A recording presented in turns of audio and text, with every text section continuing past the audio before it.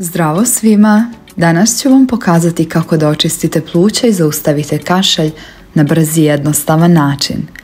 Ovo je potpuno prirodni sirup protiv kašlja, pa počnimo. Sipat ćemo 200 ml mlijeka u šerpicu.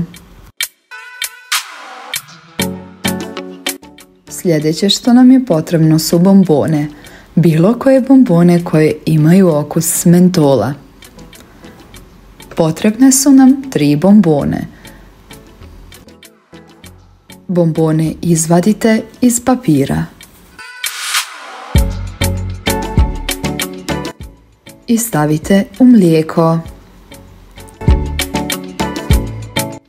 Sve zajedno stavite na ringlu i zagrijavajte na laganoj vatri. Miješajte dok se bombone ne otope. A kada su se bombone otopile, sklonite sa vatre. Sipajte u šolju i naš napitak je gotov. Pije se po potrebi.